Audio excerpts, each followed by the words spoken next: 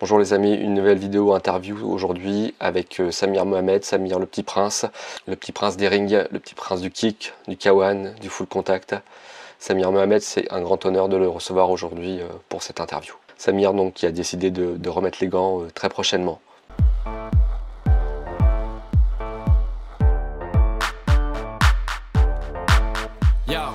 Tu m'entends? Salut Samir, comment tu vas? Ah, Et toi Flo, comment tu vas? Ça va, ça va. Ben, écoute, merci beaucoup Samir euh, d'avoir accepté mon invitation. Très heureux de te compter parmi nous. C'est un plaisir. Je suis un peu à la bourre, donc je suis encore sur la route. J'attends d'arriver à la maison là, dans, une minute. Mais on peut commencer. j'ai réussi avec les aléas du téléphone, puis j'ai réussi. C'est nickel. Ben, écoute Samir, les, gens de ma génération te connaissent, euh, les plus jeunes euh, un peu moins. Est-ce que tu peux te présenter en quelques mots s'il te plaît? Samir, on m'a on surnommé Petit Prince tout au long de ma carrière. C'était Pascal Igui, et à son âme m'avait donné ce surnom à l'époque quand j'avais 14 ans.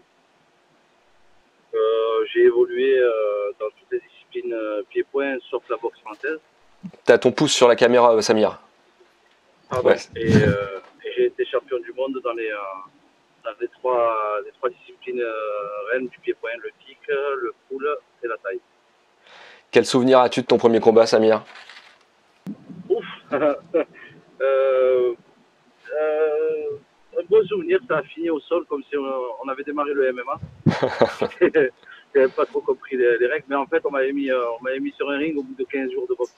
D'accord, ah oui, donc euh, vraiment au, tout début. Quel conseil, tu, quel conseil tu donnerais à un jeune qui veut monter sur le ring? Un conseil, c'est euh, de s'entourer de, de, personnes compétentes. Malheureusement, et heureusement de l'autre côté, euh, aujourd'hui, il y a beaucoup de, de, gens qui se prétendent entraîneurs. Alors l'entraîneur, la qualité de l'entraîneur, elle se fait pas, pour moi, elle se fait pas forcément sur le, sur les bases techniques. On a tous nos techniques, on a tous nos manières de travailler, mais elle se fait sur les, sur les rapports humains, sur la confiance qu'on peut, qu'on peut donner, euh, qu'on peut donner à, à, à cet entraîneur-là. Moi, j'ai eu la chance d'évoluer toute ma vie avec les mêmes entraîneurs. Et, euh, et je sais que s'il m'envoyait quelque part, c'était euh, c'était mesuré, c'était, euh, c'était bien sûr, c'était, il y avait le risque du combat, mais que, mais qu'on ne faisait pas faire n'importe quoi. Oui, c'est une deuxième famille. Hein. Ouais, mais je pense que ça, c'est vraiment, c'est vraiment quelque chose qui, est qui a trait à tous les sports, un peu plus particulier dans les sports individuels où, euh, où on a, d'individuels que le nom, parce que, parce que quand on monte sur un ring, effectivement, tout le monde a l'impression qu'on se bagarre seul, mais il y a toute une équipe derrière, il y a toute une préparation, il y a plein de collègues d'entraînement qui sont là à transpirer pendant deux mois avant. Ouais, et, en plus de ça, quand on a un entraîneur comme moi, j'ai eu Dominique Roman, Stéphane Cabrera. Euh, moi, j'ai eu beaucoup de chance dans ma carrière.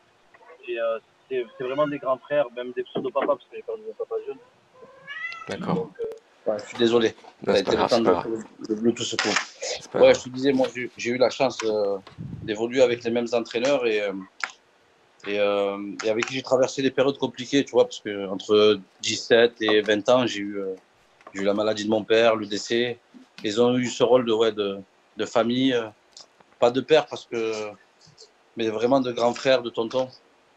Moi, j'ai eu beaucoup de chance. J'ai été accompagné très vite par, par, par ces gens-là.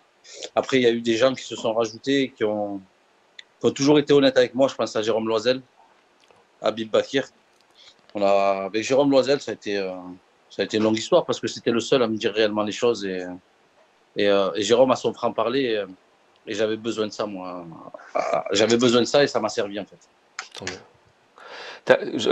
Samir, tu as boxé les plus grands noms du pied-point français et, mondiaux. quel combat t'as le, le, plus marqué? Quel adversaire t'as le, le plus marqué? Alors moi, j'ai quelques noms en tête, hein, mais. Le combat le, le, combat le plus dur euh, moralement et, euh, physiquement euh, qui m'a marqué le plus, c'est contre, contre Jean-Charles Skarbowski. parce que à l'époque, on, venait d'en bas, on venait du sud et on n'était pas considérés comme des vrais boxeurs. En plus, venant de la WKN, il y avait ces, histoires de, de fédération.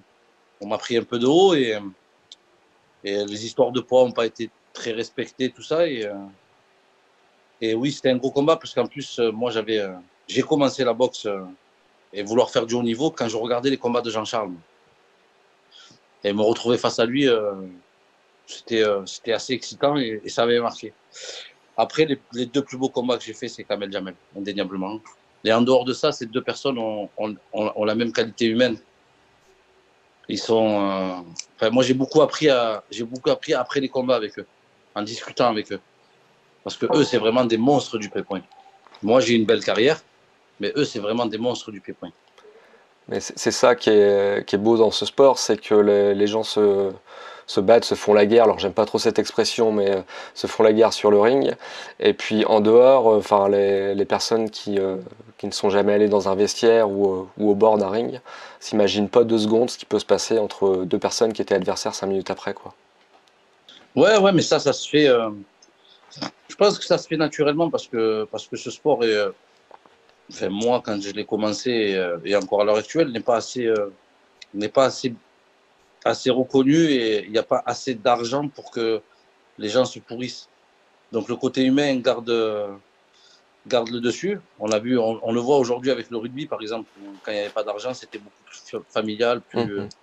Et aujourd'hui, commence à, on commence à y rentrer un peu plus d'argent, ça commence, on commence déjà à entendre beaucoup d'histoires.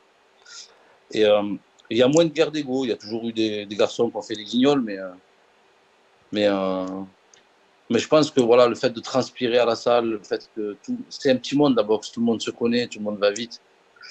Donc, ouais, moi j'aime, moi j'aime bien en fait, j'aime bien ce côté-là encore. Quelle, quelle, est ta technique préférée, Samir? Ah, Indéniablement le coup de pied retourné. mais ça, c'est pas ma faute, c'est la faute à Rico Fous. Juste, justement, oui, c'est des boxeurs qui t'ont inspiré Rick Rufus, Rob Kaman? J'ai commencé la boxe le lendemain d'avoir vu euh, le, lendemain où j'ai vu euh, ce combat à Marseille entre euh, Rob Kaman et, Rick Rufus. Et Rick Rufus, c'était la classe. à l'époque, ceux qui m'ont donné envie, c'était Rick Rufus, c'était les Abel El Kandjili. Oui. Farina pour ses techniques de jambes. Française, oui. Ouais, ouais, ouais. Mais, euh, mais au-delà de ça, ouais, ouais c'était, c'était impressionnant quand tu étais gamin de voir ça. Oui, et puis voir Samir à la télé, c'était pas mal aussi. Je sais pas, moi j'ai eu la chance de qu'on me remette à chaque fois les pieds sur terre et, euh, et je me suis jamais vu comme le meilleur. Je pense que c'est ça qui m'a, qui m'a permis de toujours aller chercher plus loin. Et, euh, et j'avais, et, autour de moi, j'avais une. Enfin, moi, je vois Domi, c'est quelqu'un de très simple. Et euh, il ne s'est jamais contenté de, de ce qu'on faisait. Oui, c'est bien, mais on va voir l'étape suivante. Et aujourd'hui, j'observe autour de moi euh, les boxeurs de la, de, ben, de la génération d'en dessous et de la nouvelle génération. Et, et je suis admiratif de, de Abdellah Esbiri et, son frère Foued. Ils ont un mm. peu cette mentalité-là. Et je suis admiratif de, de, de, la team euh, JBL, la team Blanc. Ils ont, ce qu'ils ont réussi à faire entre, entre David. Oh, ah, ça a coupé. Ouais, ouais, ouais. Ouais, c'est bon. Ils ont fait entre, entre Caudron, qui était leur, star, et, et c'était mérité. Euh, et, et, le passage de flambeau qu'il y a, entre, qu'il y a eu entre Caudron et, et Dina Islimani, qui. Euh, bah, c'est extraordinaire, ce gamin. Que tu as boxé aussi? Ouais, je l'ai boxé. Je l'ai boxé une première fois, c'était un beau combat. La deuxième fois, j'étais pas là du tout. Je suis, je suis quelqu'un qui a, qui a énormément de. qui, vit très mal les histoires d'Antata, tout ça. Et, euh, et j'en avais pas dormi depuis deux jours. Euh, en fait, c'était un jour après. On savait pas si le gars-là, jusqu'à 18h, on savait pas si ça avait été fait. Mais ce qui n'enlève rien à la qualité d'Edgy, qui est, qui est pugilistiquement et, et, et, le meilleur. Il a un beau retourné aussi. Ouais, donc en plus de ça, il a, au début, il avait une, belle boxe, il, faisait de beaux retournés. Aujourd'hui, il a passé un cap, il est intelligent, il est stratégique. Moi, je repense au combat de l'année dernière contre Kouliaba, où il a fait un gros combat, les gens n'étaient pas forcément d'accord, mais pour moi, il a gagné. Il a gagné parce qu'il est fort et qu'il est intelligent maintenant. Donc, tu, as commencé par le full, tu, reviens à tes premières amours. J'ai appris que tu allais euh, remettre les gants. Ouais, c'est un peu un défi personnel. J'ai. Euh, j'ai l'impression qu'on m'a volé un peu mes cinq dernières années euh, via des problèmes perso et, et j'avais envie de reprendre à la base. Donc au départ, je me suis mis juste pour m'entraîner. Et, euh, et j'ai envie, ouais. J'ai envie de. Et, euh, et, encore une fois, c'est après, après avoir consulté euh, Jérôme Loisel, parce que je discute beaucoup avec Jérôme Loisel quand j'ai des projets. c'est quelqu'un de, c'est quelqu'un qui, qui va savoir me dire si si c'est trop ou pas trop. Et là, lui, il était plutôt d'accord. Et c'est une idée, euh, c'est une idée de lui de finir en full pour. Euh, j'en ai besoin, moi, j'ai envie de, j'en ai besoin pour moi, pour, pour rendre hommage aux gens qui, qui m'ont suivi et pour. Et aussi, j'avais envie de faire une tournée d'adieu aussi pour Pascal Gilki qui m'a, qui m'a donné aussi ce, ce surnom. C'est louable, c'est louable. Euh, Samir, si tu devais euh, recommencer ta carrière, tu changerais quoi? On m'a dit, euh, j'ai fait des erreurs au niveau financier, au niveau, au niveau confiance. J'en ai fait une ou deux. Mais si j'y réfléchis bien, je ne changerai rien. Je changerai rien parce que, parce que finalement, j'étais riche, riche, riche d'expérience, riche de personnes que j'ai rencontrées. Je pense aussi à la fois où je suis monté chez vous. Oui, oui. Euh, ce contact. Euh, vas-y, vas-y, pardon. On m'a dit un jour que j'étais trop en retrait, trop, trop humble, qu'il fallait que je me vende un peu plus. Mais, euh, mais je ne le regrette pas en fait, parce que je suis comme ça et, ça, ça permet aujourd'hui, ça me permet aujourd'hui moi d'avoir une, reconnaissance affective de, du milieu et ça, ça me suffit en fait. Oui, puis tu es, quelqu'un de parole et c'est euh, c'est tellement rare. C'est tellement rare. Enfin, moi, je, je me rappelle très bien, euh, blessé, tu as quand même fait 600 km euh, pour accompagner tes collègues et, et, venir parler au public. C'était enfin, génial. Quoi. Je te remercie encore d'ailleurs. Ben, moi, c'est moi qui vous remercie parce que les, émotions sont vraiment partagées. Et, comme je te l'ai dit la fois où je suis venu dans votre club, ce qui fait ce sport, c'est vous, c'est vos associations, pas les, pas les sportifs de haut niveau. Ce qui fait ce sport aujourd'hui, c'est tous ces entraîneurs bénévoles qui sont là trois, quatre, cinq fois par semaine euh, pour transmettre une passion, des valeurs et, euh, et qui font vivre ce sport. J'aimerais juste que des fois, ouais, si un jour je devrais mener un combat pour ce sport, c'est pour les c'est que les fédérations arrêtent, euh, arrêtent un peu de penser au lobby, à l'argent et qui, euh, qui se mettent vraiment à la disposition de, de vous, de, de, de, tous ces clubs-là qui, euh, qui galèrent avec ces licenciés. Merci Samir. Samir, une euh, question que je t'ai pas posée, que tu aurais aimé que je te pose? Que j'aurais aimé que tu me poses Non, je, ne sais pas. Une information.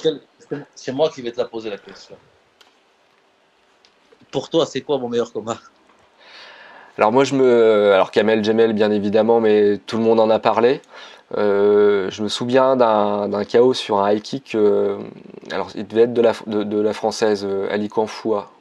Ah, c'était le champion du monde de boxe française contre le champion du monde de full contact. Ça avait fait toute une histoire là. Il y avait une guerre de, il y avait une guerre de fédération et on s'était rejoint sur des sur des règles communes et, et c'était, fait, je me rappelle du coup de pied, si tu veux, pas, pas, pas du combat en lui-même, mais, euh, mais le high kick, je m'en souviens très très bien.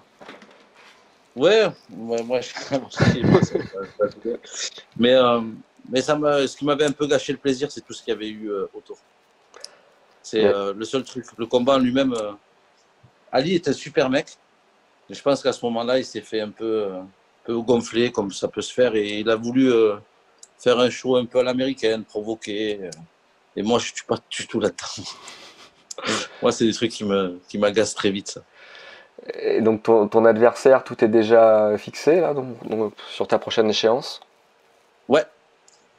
Ouais, normalement, c'est fait. On attend juste par rapport ben, à, ce COVID, le, à ce que vit le pays en ce moment et les pays en ce moment, euh, les règles sanitaires, savoir où, quand et comment ça va se faire. Et euh, d'ailleurs, je, euh, je, je, tiens à remercier toutes les associations là, sportives qui ont joué le jeu, qui se sont montrées exemplaires pendant cette période, qui n'ont qui ont pas utilisé les salles de sport, qui n'ont pas reçu les gamins, qui n'ont pas reçu les collègues, qui ont été exemplaires.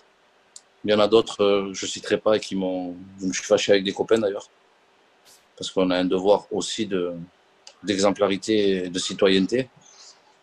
Mais ceux qui ont joué le jeu, voilà, je tiens à les remercier. Moi, je sais qu'il y en a beaucoup qui ont fait comme moi, qui ont gardé leur leurs élèves qui ont gardé leurs cours privés mais, euh, sur visio. Et, ça, moi, pendant le confinement, ça m'a permis aussi de, ça m'a beaucoup aidé de voir les gens à travers le visio continuer à faire des cours de sport. Et je sais qu'il y en a pas mal qui ont joué de jeu et ces gens-là, là, je tiens à les remercier, vraiment. Merci Samir, merci pour ce moment passé euh, en ta compagnie. Je, je, je sais que tu es sérieux, tu vas tout faire pour te faire plaisir, pour, pour offrir un, un super combat. Et j'ai envie de te dire, euh, la, la, licence pour les pros, ça peut aller jusqu'à 45 ans, donc tu peux encore te faire plaisir. Ouais, l'envie recommence à arriver. Et ouais, c'est la question que j'aurais aimé que tu, me, que tu me poses, c'est celle-là. Est-ce que je suis pas trop vieux pour y aller? Je, je, sais que tu n'es pas trop vieux. On a un poids lourd chez nous qui a, qui a, 42 ans et tous les ans il arrête et, il, a, le virus. Quoi. Donc euh, j'ai envie de te dire, à un moment donné, la technique permet de compenser un peu, mais à 40-45 ans, euh, t'as pas le jus d'un gamin de 20, mais il y a des choses qui peuvent compenser. Donc, euh... Et puis on a, des, on, a de, on de beaux exemples quand même. Moi je pense à Johnny Tancré de Nice, qui a fait une belle carrière, là, qui s'est arrêté je crois que l'année dernière, parce que ben, je crois qu'il est arrivé à l'âge limite. Mais euh, oui, il y en a. Monsieur, euh, Monsieur Picor aussi, qui s'est oui. remis à monter sur le ring. En ce moment, j'ai l'impression que les anciens s'énervent un peu. C'est des, des, vagues, je pense qu'il y en a un qui donne envie. Euh... ok. Ouais. Samir, merci bah, écoute, beaucoup. Je te remercie, je suis honoré de, de ton invitation et, euh, et, je reste à ta disposition au besoin. Au plaisir, Samir. À très bientôt. À, à Bonne fin de journée. Ciao.